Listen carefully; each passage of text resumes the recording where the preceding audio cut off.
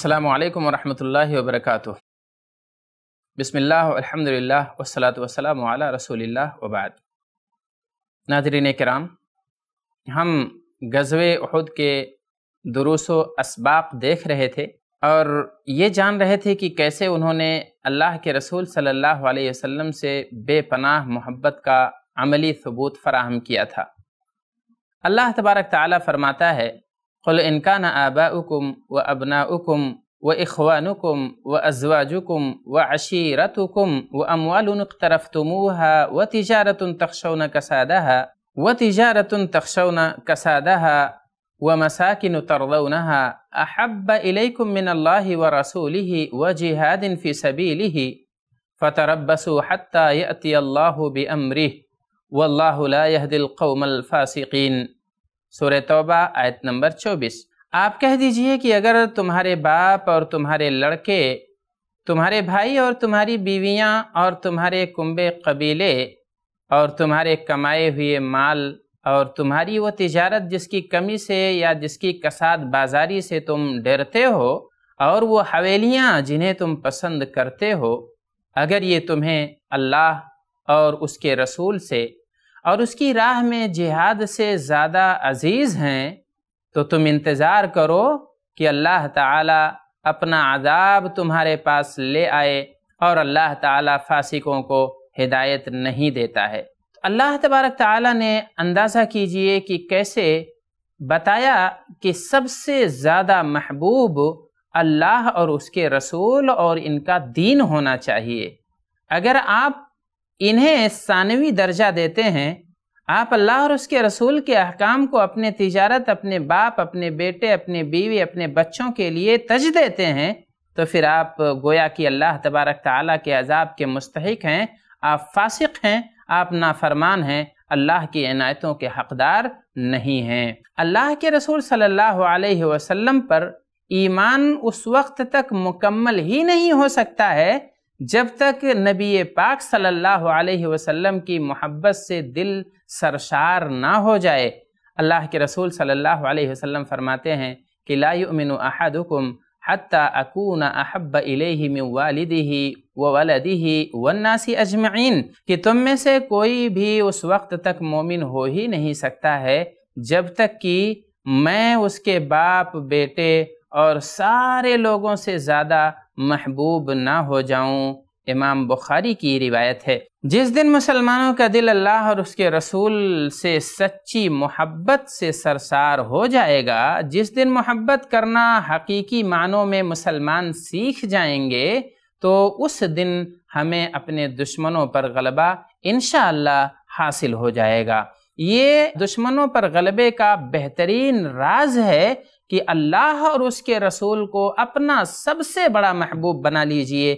انشاءاللہ دشمن کی ہر تدبیر اور ہر سازش ناکام ہو جائے گی۔ غزوہ احد سے ہمیں یہ بھی سبق ملتا ہے کہ عام طور پر قائد اور بطور خاص نبی پاک صلی اللہ علیہ وسلم کی مخالفت یہ پستی اور ہار کا سبب بن جاتی ہے۔ دیکھیے کیسے اللہ کے رسول صلی اللہ علیہ وسلم اور جنگ کے قائد کی ایک مخالفت کی وجہ سے مسلمانوں کو کتنا بڑا نقصان پہنچا اور بھاگتا ہوا دشمن، شکست کھایا ہوا لشکر دوبارہ مسلمانوں پر غالب آنے کی پوزیشن میں آ گیا اور مسلمانوں کو شدید نقصان پہنچایا۔ میرے بھائیوں اور دوستوں آپ جب اس پر غور کریں گے تو اندازہ ہوگا کہ اپنے قائد کی مخالفت اور خاص طور سے نبی پاک صلی اللہ علیہ وسلم کے حکم کی نافرمانی یہ ذلت اور ہار کا باعث بن جاتی ہے۔ لہذا ہمیں یہ معلوم ہونا چاہیے کہ لڑائی میں تعداد اور تیاری شران مطلوب تو ہے، لیکن ہار جیت کا فیصلہ اس پر منحصر نہیں ہے۔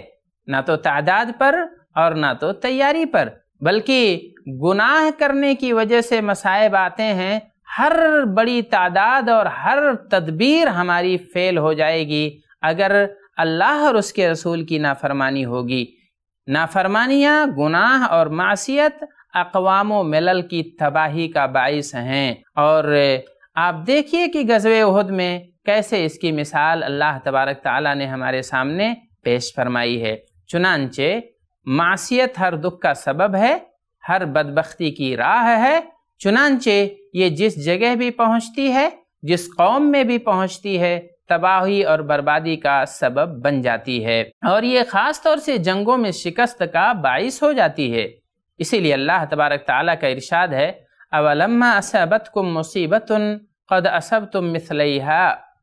قلتم ان هذا قل هو من عند انفسکم۔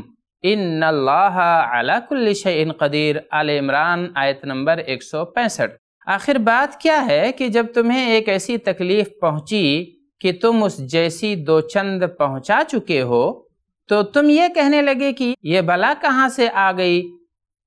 آپ کہہ دیجیے کہ یہ خود تمہاری جانب سے ہے۔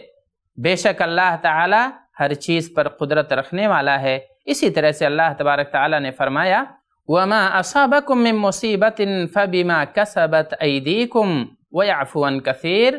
سورہ شورہ آیت نمبر تیس۔ تمہیں جو کچھ مصیبت پہنچتی ہے، وہ تمہارے اپنے ہی ہاتھوں کی کرتوت کا بدلہ ہے، اور وہ تو بہت سی باتوں سے درگزر بھی کر دیا کرتا ہے۔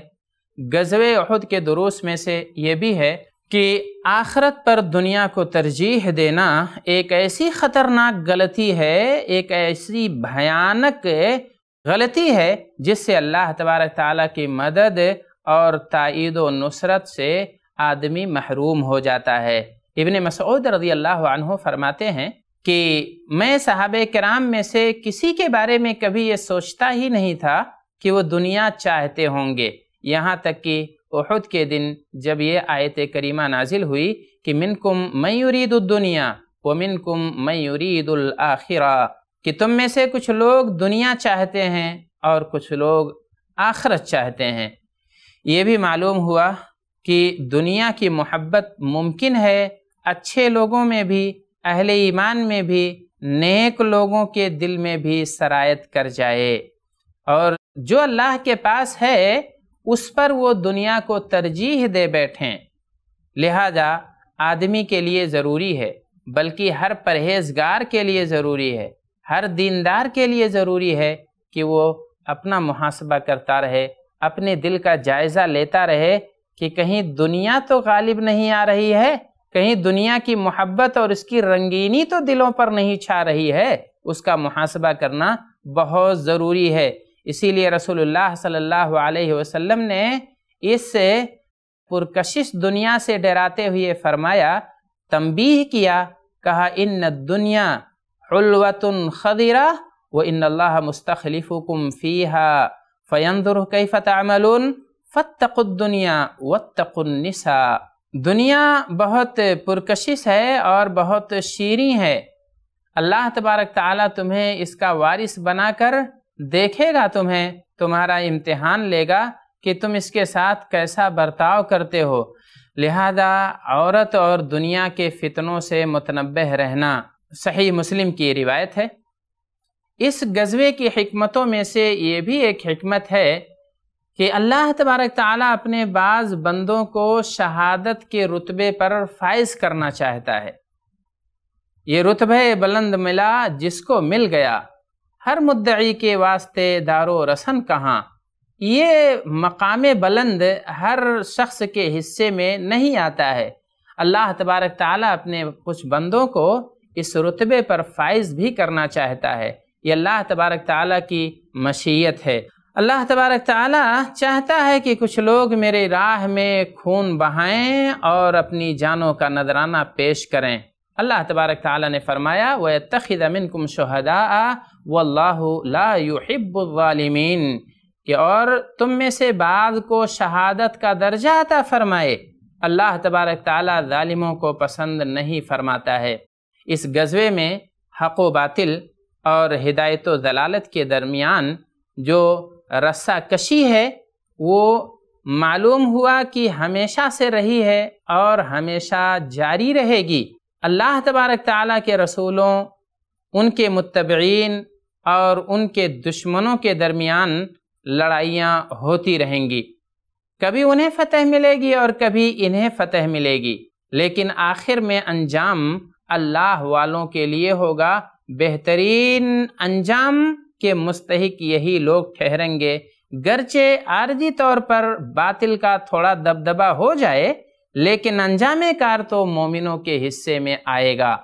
باطل کی حکومت کچھ لمحوں کے لیے ہوتی ہے، جبکہ حق کی حکومت تا قیامت رہنے والی ہے۔ اور یہ اللہ تبارک تعالیٰ کی ایسی سنت ہے جو کبھی تبدیل نہیں ہوگی۔ اور ہمیں یہ معلوم ہوا کہ جنت کی راہ اتنی آسان نہیں ہے۔ اللہ تبارک تعالیٰ فرماتا ہے، ام حسبتم ان تدخلوا الجنہ؟ ولما يعلم اللہ الذین جاہدوا منکم ويعلم الصابرین۔ آل عمران، آیت نمبر 142 کیا تم لوگوں نے یہ سمجھ لیا ہے کہ ایسے ہی جنت میں چلے جاؤ گے؟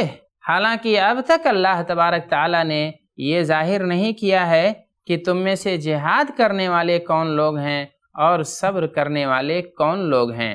البتہ اللہ تبارک تعالیٰ پر بھروسے کے ساتھ ساتھ مادی و معنوی اسباب بھی اختیار کرنا چاہیے۔ اللہ کے رسول صلی اللہ علیہ وسلم نے دو دو زرہیں زیب تن فرمائی تھیں۔ ایک اوپر اور ایک نیچے پہن رکھا تھا اور سر پر جنگی ٹوپی لگائی تھی۔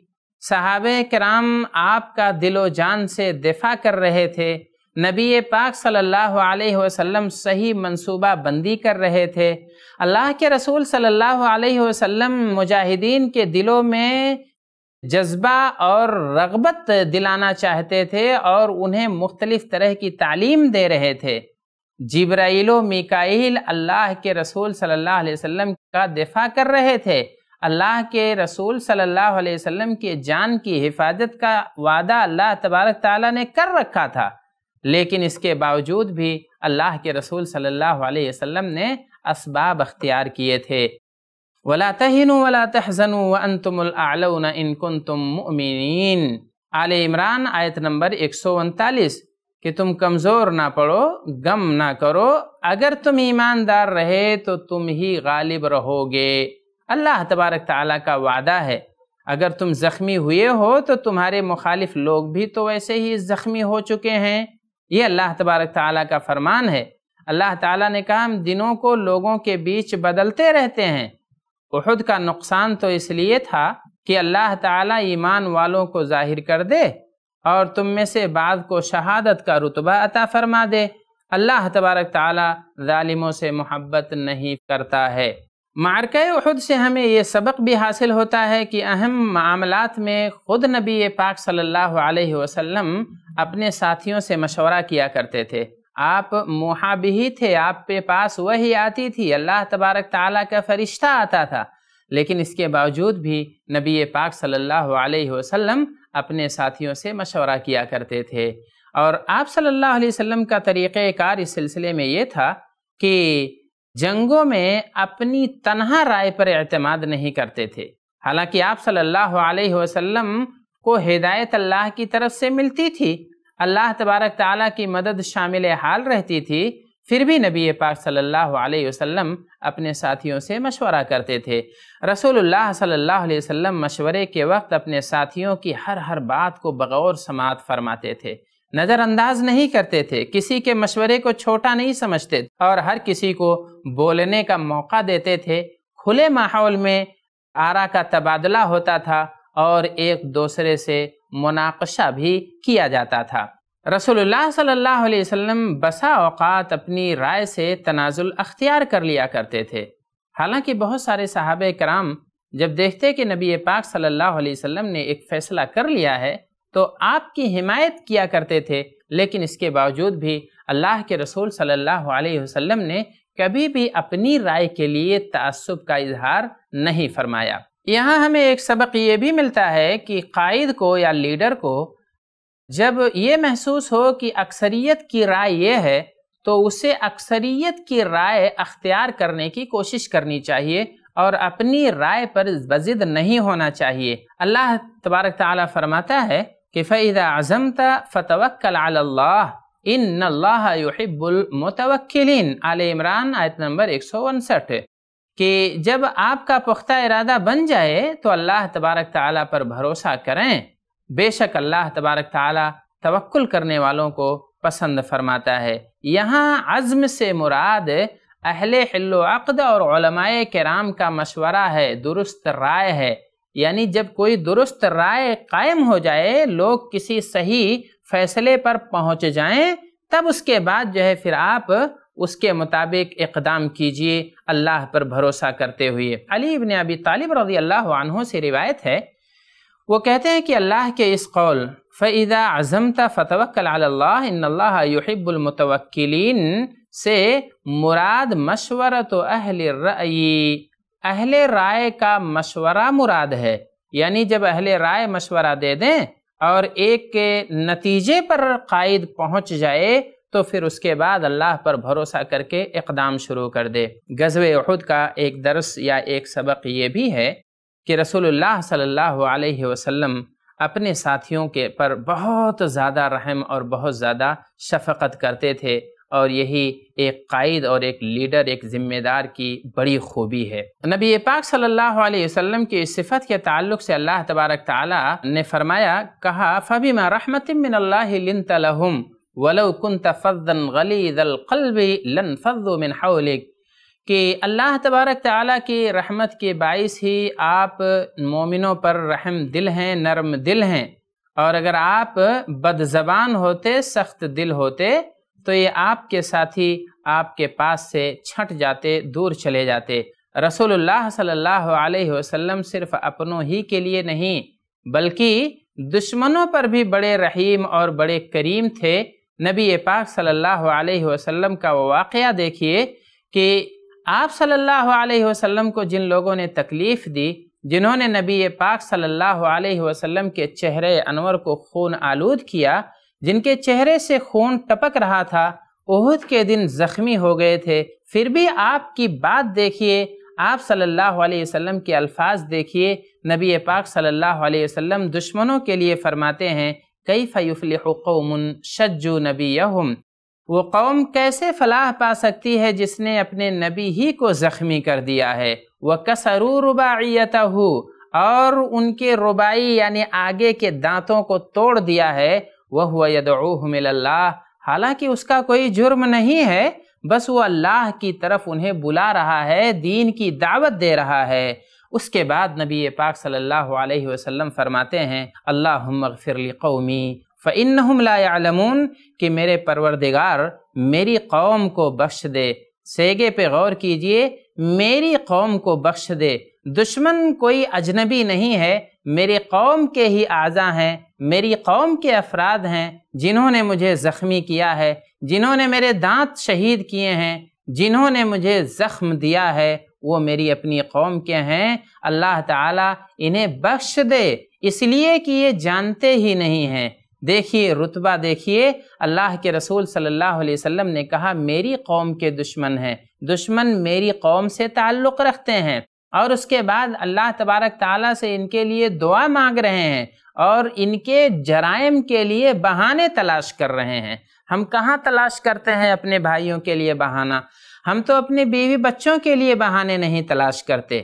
ہر ہر چیز کا محاسبہ کرتے ہیں، اوٹ پٹانگ انداز میں سوچتے ہیں، بدگمانیاں دلوں میں پال لیتے ہیں۔ لیکن نبی پاک صلی اللہ علیہ وسلم نے دعا بھی مانگی، معاف بھی کیا، بہانہ بھی تلاش کیا۔ یہ ہمارے لیے بہت بڑا سبق ہے جسے ہمیں سیکھنا چاہیے اور اپنی زندگی میں اتارنا چاہیے۔ اس محبت اور اس اپنائیت کا نتیجہ یہ ہوا کہ ابو سفیان جو اعلو حبد کا نعرہ دے رہا تھا، جس کا یہ نعرہ تھا، حبل کی سربلندی ہو اور ہمارے اس بت کی سر بلندی ہو اور اس کی شان بلند ہو، وہی فتح مکہ کے ٹائم پر لا الہ الا اللہ محمد الرسول اللہ کا نعرہ بلند کر رہے ہیں اور وہ وحشی جس نے نبی پاک صلی اللہ علیہ وسلم کے نہایت محبوب چچا حضرت حمزہ رضی اللہ عنہ کو شہید کیا تھا، وہی مسلمہ کذاب کو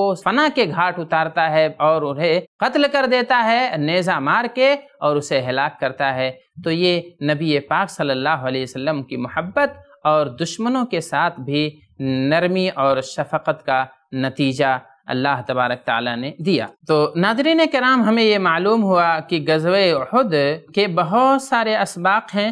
وہاں اللہ تبارک تعالیٰ کی مدد بھی ہمیں نظر آ رہی ہے اور شکست کی ایک جھلک بھی دکھائی جا رہی ہے۔